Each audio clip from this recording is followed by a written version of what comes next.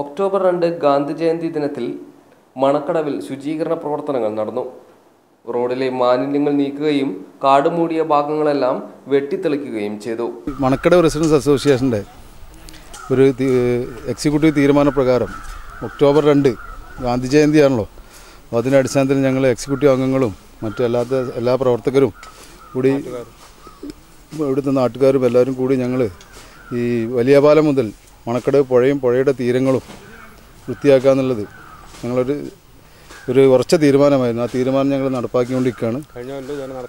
അത് ഞങ്ങൾ എല്ലാ സമയത്തും ഇത് ചെയ്തുകൊണ്ടിരിക്കുന്നുണ്ട്. വളരെ വളരെ നല്ല പുരോഗമനമായ കാര്യങ്ങളും എല്ലാം ചെയ്ത് ഞങ്ങൾ റെസിഡൻസ് ഞങ്ങൾ മുന്നേറുക എന്നുള്ളതാണ് ഞങ്ങളുടെ ലക്ഷ്യം. അത് ജനോപകാരപ്രദമായ കാര്യങ്ങൾ മാത്രമാണ് ഞങ്ങളുടെ ലക്ഷ്യം. കൂടാതെ നമ്മൾ ഞങ്ങളിവിടെ ഇപ്പോൾ ഒരു ഒരു ഞങ്ങളെ റെസിഡൻസിലെ ആളുകൾക്ക് വൃദ്ധന്മാർക്ക് ഒരു പെൻഷൻ പദ്ധതി നടപ്പാക്കിയിട്ടുണ്ട്.